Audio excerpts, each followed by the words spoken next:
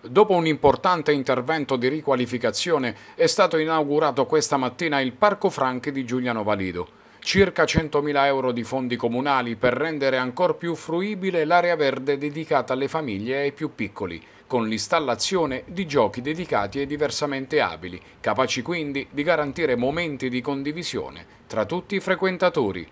La soddisfazione dell'assessore Giorgini, con delega tra l'altro al verde pubblico. Intervento atteso appunto dalla cittadinanza, programmato dall'amministrazione già da tempo, il parco aveva bisogno di un restyling, era purtroppo diciamo, malmesso e, e quindi oggi sono la soddisfazione dei nostri bimbi che vediamo alle nostre spalle, godersi questo galeone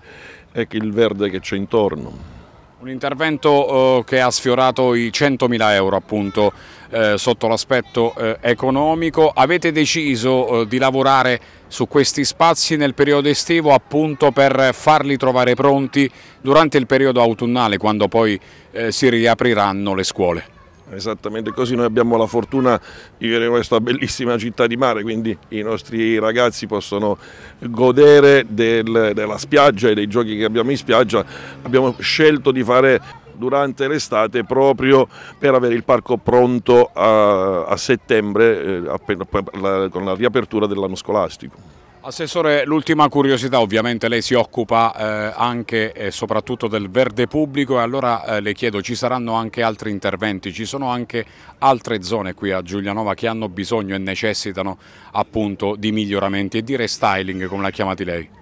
Eh, assolutamente sì, in città c'è da fare sempre tanto, quello che avevamo ereditato era eh, dire, in una condizione, era e tuttora in alcune zone vetusta, eh, stiamo programmando degli interventi in un parco a Giulianova Alta, il parco Cerasari, non ci fermiamo con la manutenzione del verde verticale anche per l'incolumità della cittadinanza, quindi con progetti, piani di, di potatura e nuovi impianti di verde